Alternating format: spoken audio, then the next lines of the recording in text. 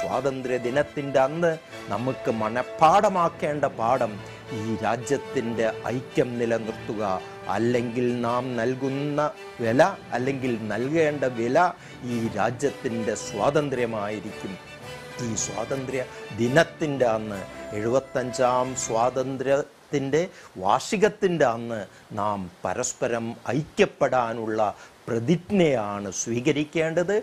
ഐക്യത്തിനെതിരെ പ്രവർത്തിക്കുന്ന എല്ലാ ശക്തികളെയും ഈ ദിവസം നാം ഒറ്റപ്പെടുത്തുമെന്ന പ്രതിജ്ഞയും എടുക്കേണ്ടതാണ്.